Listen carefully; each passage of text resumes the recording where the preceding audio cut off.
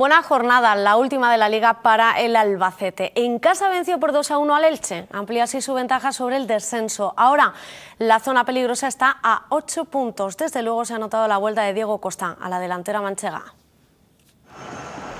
Con la victoria frente al Elche, el Alba alcanza los 40 puntos y acaricia la permanencia.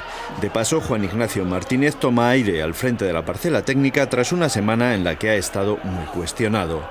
Salió enchufado el conjunto alicantino y a los seis minutos Santos encuentra una vía de agua en el centro de la defensa local y bate a Cabrero con una vaselina. 0 a 1. Tocaba remontar.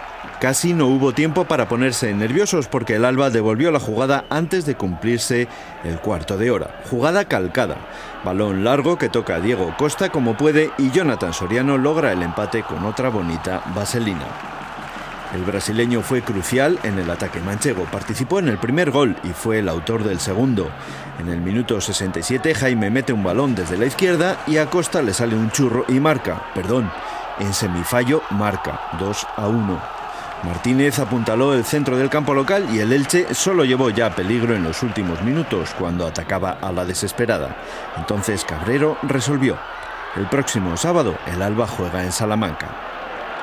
Entramos ya con el fútbol regional en segunda, otro paso más del Albacete hacia la permanencia matemática. Remontó al Elche y acabó logrando tres puntos que son de oro. Tras el triunfo de ayer ante el Elche, el panorama se le clarifica a un Albacete que se ha situado en la decimocuarta posición, alcanzando por fin los 40 puntos. Una posición y una cifra que, con 10 partidos por delante, le permite mirar al futuro con optimismo y sobre todo con mucha más tranquilidad de la que se ha vivido en la entidad albaceteña en las últimas semanas.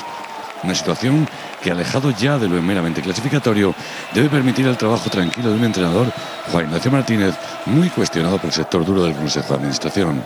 Quedando 10 partidos, ya tienes 40. La verdad es que no tenemos que bajar los brazos. Tenemos un calendario, pues como todo el mundo, complicado, en el cual pues vienen todos los rivales que quieren puntos y arriba tenemos que, perdón, fuera tenemos que visitar equipos que quieren subir a previsión. Pues eso es lo bonito del campeonato. Lo que sí que es verdad que bueno, que esta victoria sea para, tranquilizar a todo el mundo y que, se puede confiar, ¿no? Con esta situación de tranquilidad ahora toca mirar el calendario.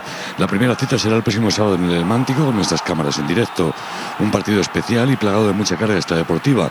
No olvidemos que Juan Ignacio entrenó la temporada pasada al Salamanca y que recientemente ha perdido un juicio con el Club Charro que le condena a pagar 120.000 euros. Después, en casa, llegará al Córdoba, un partido que puede sellar casi de manera definitiva la continuidad en la categoría.